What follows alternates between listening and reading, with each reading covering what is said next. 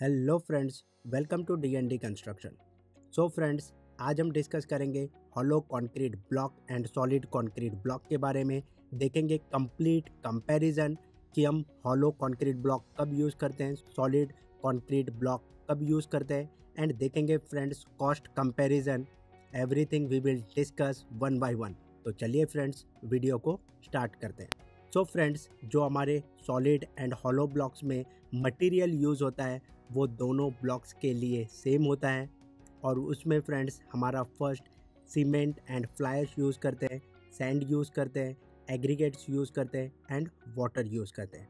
And जो size available होता है फ्रेंड्स, जो हमारा मार्केट में, वो साइज़ होता है 390 हमारा लेंथ होगा 90 एम एम विथ होगा एंड हाइट होगा 190 एम एम सो फ्रेंड्स, जो हमारी विथ है वो डिफरेंट डिफरेंट विथ में अवेलेबल होता है. Four inch block 125 twenty five M blocks one fifty M M blocks and two hundred M M eight inch blocks different size market में available होती है फ्रेंड्स सो फ्रेंड्स हम next देखते हैं कि हॉलो ब्लॉक्स में हमारे टू और थ्री हमारे हॉलो कोर्स होते हैं. जिसके वजह से हमारा जो क्रॉस सेक्शनल एरिया है ब्लॉक का, वो हमारा at least twenty five percent reduce हो जाता है। जो हमारा सॉलिड ब्लॉक है, वो कंप्लीट कंक्रीट से सॉलिड होता है।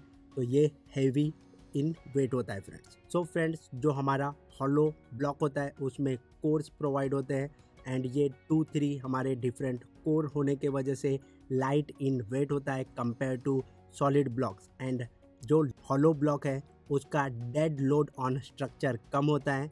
इसके वजह से फ्रेंड्स, जो हमारा स्टील पर स्क्वायर फुट यूज़ होता है, वो हमारा सॉलिड ब्लॉक के कंपैरिजन में हॉलो में कम होता है, क्योंकि हमारा जो हॉलो ब्लॉक है, उसका वेट कम होता है। एंड फ्रेंड्स हम नेक्स्ट देखते हैं hollow block increase labour productivity due to light in weight easy to handle compare to solid blocks and friends जो जॉइंट मोटर है, जो हमारा हॉलो ब्लॉक्स में वो कम यूज़ होता है, क्योंकि सरफेस एरिया जो हमारा टॉप का एंड बॉटम का जो सरफेस एरिया है वो कम है एंड जो मोटर है, सॉलिड ब्लॉक्स में वो हॉलो ब्लॉक से ज़्यादा यूज़ होता है। सो so फ्रेंड्स हम नेक्स्ट पॉइंट डिस्कस करते हैं। नेक्स्ट पॉइंट है जो हमारी वॉल है हॉलो ब्लॉक वो स्पेशली हम यूज़ करते हैं पार्टीशन वॉल्स में। हम हॉलो होने के वजह से इसकी स्टेबिलिटी नहीं होती लोड कैरिंग कैपेसिटी नहीं होती, इसके वजह से हम इसको फाउंडेशन एंड प्लिंथ वॉल में यूज़ नहीं कर सकते। एंड जो हमारा सॉलिड ब्लॉक है friends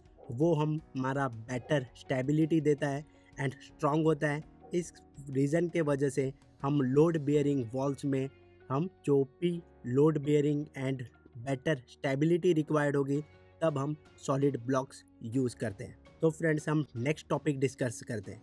due to hollow structure जो हमारी हॉलो ब्लॉक्स है, उसमें better thermal and sound insulation होता है कंपेयर टू सॉलिड ब्लॉक इस वजह से हमारी इलेक्ट्रिसिटी लेस यूज़ होती है in hollow blocks so friends हम नेक्स्ट टॉपिक डिस्कस करते हैं कॉस्ट कंपैरिजन सो फ्रेंड्स जो कॉस्ट कंपैरिजन है, वो हमारा पीसेस में भी अवेलेबल होते हैं एंड पर क्यूमेक में भी अवेलेबल होता है. जो हमारा एम क्यूब में रेट है फ्रेंड्स वो हमारा twenty nine hundred to thirty one hundred rupees per M cube होता है. एंड जनरली जो हमारे सॉलिड एंड हॉलो ब्लॉक्स है, वो पीसेस में भी अवेलेबल होते हैं एज़ पर साइज़ है. Four inch five inch six inch eight inch जो भी साइज़ होगा, उसके हिसाब से जो पर पीस में रेट्स है, वो जो हमारा लेस होता है हॉलो ब्लॉक्स का, वो हमारा twenty to sixty rupees per piece होता है. एंड जो सॉलिड ब्लॉक है वो हमारा twenty five rupees to sixty five rupees होता है। एज़ पर ये जो रेट है friends as per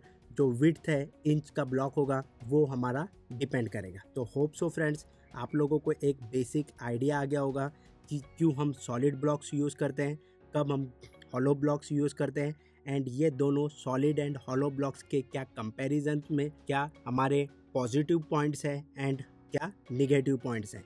Thank you so much friends for watching this video so hope so friends आप लोगों को डी एन डी कंस्ट्रक्शन के वीडियोज़ कुछ इन्फॉर्मेटिव लगते हो, आप कुछ सीखते हो तो प्लीज़ फ्रेंड्स मेरे चैनल को सब्सक्राइब कीजिए, अपने फ्रेंड्स के साथ शेयर कीजिए। जय हिंद।